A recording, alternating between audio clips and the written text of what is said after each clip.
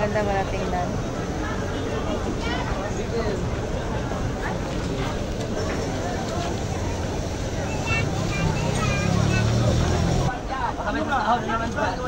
Ayan, dyan lang sila nakapila na sila sa sahod.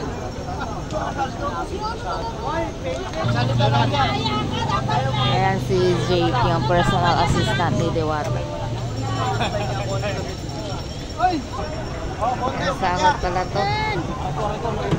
Diyan sa bintana na yan, dyan nagsasahod si Dewata.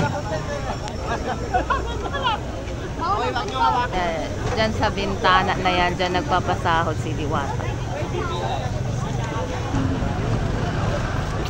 So, dyan nagpapasahod si Madam Diwata.